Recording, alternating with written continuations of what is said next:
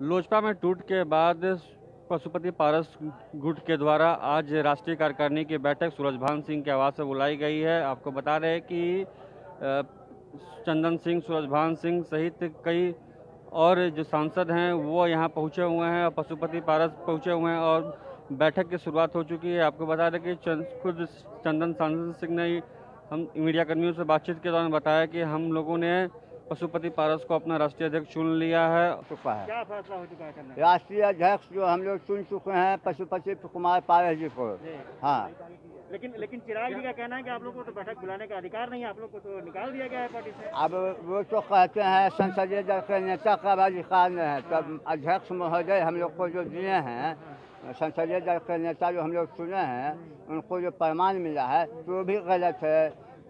Supreme court जो बोलेगा वो भी गलत है। तो अपने मन से जो बोलना है वो गलत है तो मानिए गलत बहुमत है। इसमें कोई शक है क्या? अरे हम लोग के पास पूर्ण बहुमत है।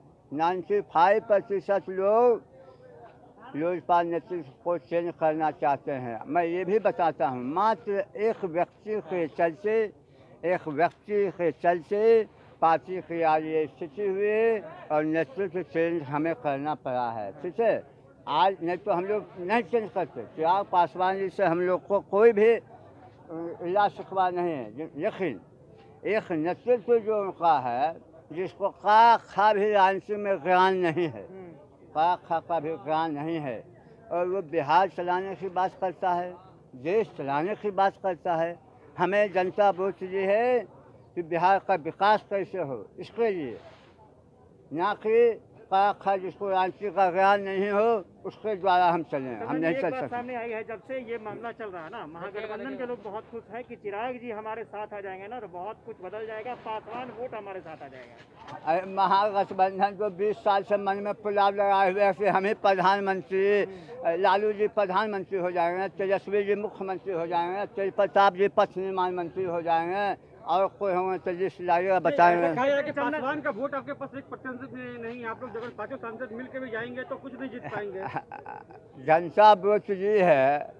पासवान वोट क्या का पार्टी माँ के समान होती है। और जनता को भी सारे समाज को भी पता है कि पार्टी की आज स्थिति क्या है। पार्टी पहले क्या था और आज पार्टी किस स्थिति में है।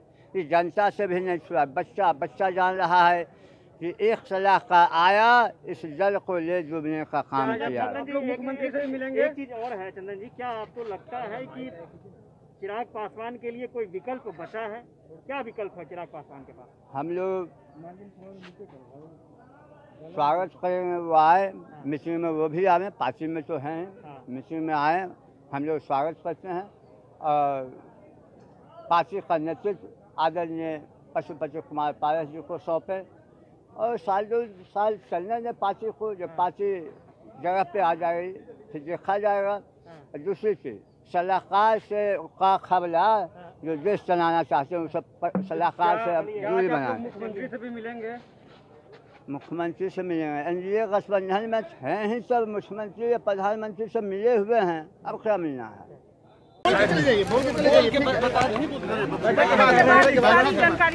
चिराग पासवान हैं गलत है ये कार्यकारिणी की बैठक बुलाने का अधिकार केवल राष्ट्रीय अध्यक्ष को है।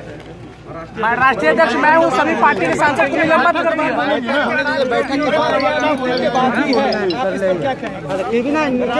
को बुलाने को ही बैठक बुलाने का अधिकार है मनोहर माइक संविधान का संविधान में जो होगा उसी का होगा। तो लेकिन ये कैसा संविधान है कि उनके बगैर अनुमति के इधर भी तो बिना संविधान देखे हुए थोड़े मीटिंग बुलाए। लेकिन वो बोले हैं चिराग पासवान की पार्टी के सभी सांसदों को तो निलंबित कर दिया राष्ट्रीय अध्यक्ष मैं हूँ।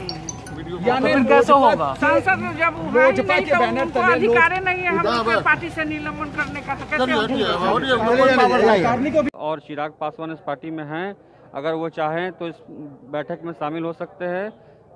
हालाँकि उन्होंने ये भी कहा कि सौरभ पांडे जो चिराग पासवान के राजनीतिकार कहा जाते हैं उनके वजह से ही पार्टी में बिखराव हुआ है। अगर उन्हें पार्टी से निकाल दिया जाता तो अभी भी पार्टी में टूट से बचाई जा सकती है। फ़िलहाल अब देखना यह होगा कि बैठक के दौरान क्या कुछ निर्णय होता है और अगला राष्ट्रीय अध्यक्ष कौन होता है? फ़िलहाल पटना सिटी भारत के लिए राहुल सिंह।